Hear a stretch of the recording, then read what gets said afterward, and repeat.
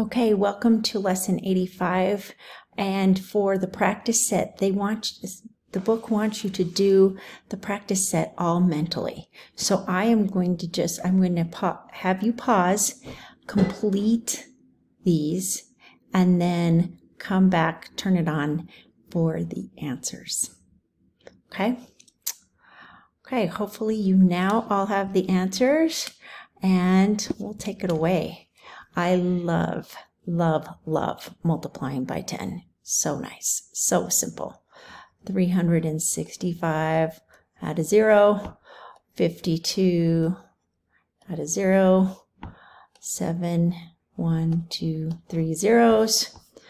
Um, 3, 6, 0, and another 0.